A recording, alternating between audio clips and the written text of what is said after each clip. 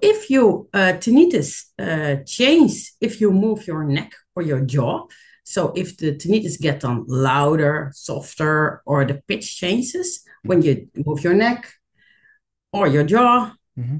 or you clench your teeth, or you open your mouth, uh, this is uh, this is a criteria for somatic tinnitus. Mm-hmm.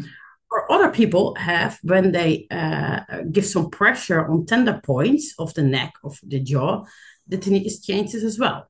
Mm-hmm.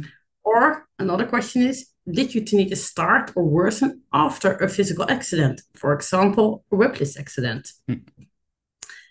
Uh, another question can be Do you have frequently neck or jaw pain or tension in your neck or in your jaw? Mm-hmm. And if your neck or jaw pain increases, does your increases uh, your tinnitus uh, increases as well? So it, if it's up going up and down together. Okay.